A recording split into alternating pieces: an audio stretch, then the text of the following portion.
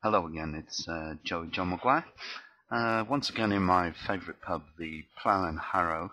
Uh, that's in Hammersmith, and a very rainy, overcast London. Uh, that's United Kingdom. About to recite uh, my latest poem, uh, which I wrote in the early hours of this morning, as always. It's called Anti-Me. Rage.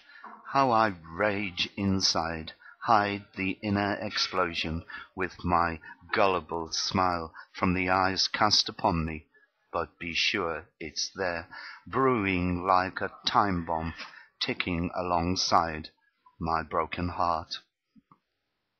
Rage, uncontained and seething, you know nothing of the word, and it has many meanings.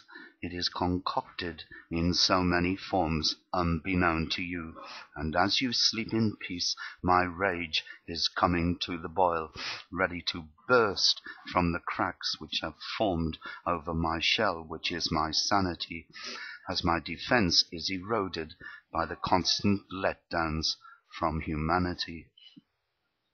Rage, you have little or no comprehension, nor any idea of its consequence, as it reaches a point where it cannot be calmed, for time has made its cauldron fester, and it is now just waiting for a sprinkle of bitterness to ignite the touch-paper which is my route to oblivion.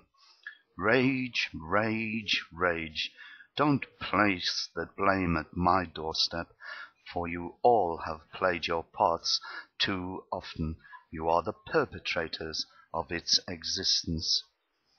My pot virtually empty before you added the isolation and desolation that comes when misery is stirred.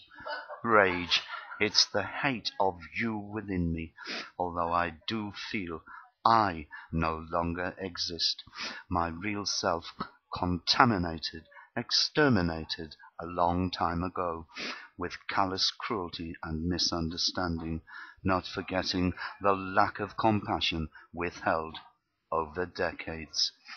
Rage, rage inside me, overwhelming, intrusive, and out of control, about to pass the tipping point of containment, and it will never be contained, not while the climate is predominantly anti-me. So heed the warning, please. The begging is over. I am enraged, and therefore I am at war.